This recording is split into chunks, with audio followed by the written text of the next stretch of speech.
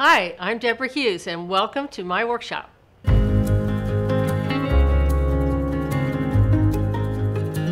In this workshop, we're going to have a great time. We're going to learn all sorts of really fun techniques and take it easy and get loose with the paint and learn design first and foremost and talk in depth about that. Then I'll show you how I like to scrub in my darks with a short flat brush. Then we'll switch to the long flat. I'll show you how I like to lay my paint on nice and thick and juicy and fill in all of the colors and values, all the big pieces, but with strategy. So you really think about what we're doing.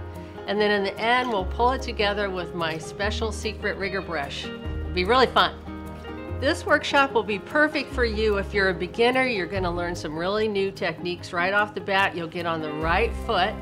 And if you're a more seasoned artist, but you're kind of struggling and you wanna up your game, I'm gonna show you the simple techniques, very straightforward techniques, so that answers all your questions so you feel like you know exactly what to do with confidence.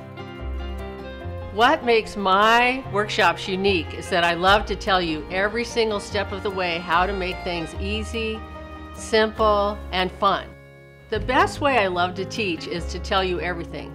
I don't leave anything out, so you will learn step by step exactly how to approach your paintings for success, how to strategize and think through everything, and really have a fun time doing it.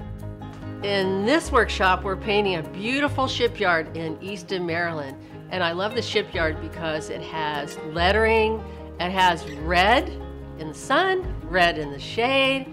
There's a harbor full of boats in the background, but I'm going to show you how to totally simplify it. And there's even a person in it. So we're going to have a great time. Let's loosen up and have some fun, so come join me.